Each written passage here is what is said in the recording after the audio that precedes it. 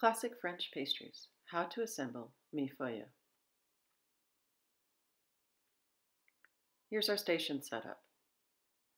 And our mise en place. Three pieces of puff pastry, fondant cream, our tools, pasteurized egg whites, parchment piping bags, cocoa powder, 6 ounces of heavy cream, 18 ounces of pastry cream, our double boiler, fondant, gelatin, gloves, and a glazing rack. We start with our pastry, trimming the edges to make them nice and straight, and they should be the, all the same width. The prettiest one, flip over, warming the fondant adding a little bit of pasteurized egg whites, not higher than 105 degrees. Add a little bit of the fondant to the cocoa powder, stirring until smooth.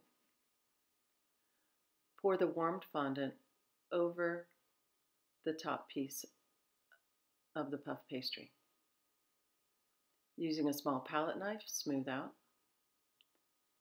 Take your chocolate fondant, piping bag, and pipe horizontal lines back and forth across the top of the warm fondant.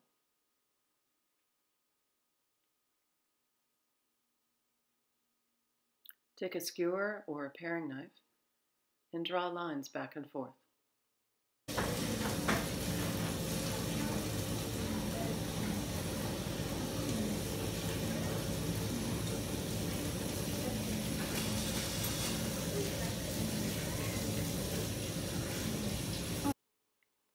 Here we have our 6 ounces of whipped cream and 18 ounces of pastry cream, mixing until combined. Two sheets of gelatin, blooming. Once it's bloomed, warm it to 140 degrees, add back to the diplomat, put in a piping bag, start piping onto the bottom layer of your puff pastry.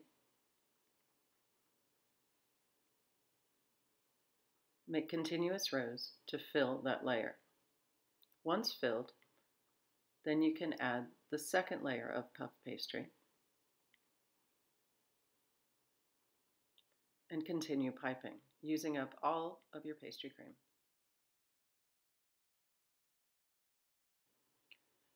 Once your top layer has set, mark it into 2-inch slices and put each slice onto the top of the assembled millefeuille freeze, slice, and serve.